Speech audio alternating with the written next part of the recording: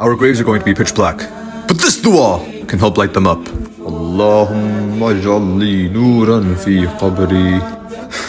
I don't need no dua. My homie got me. What?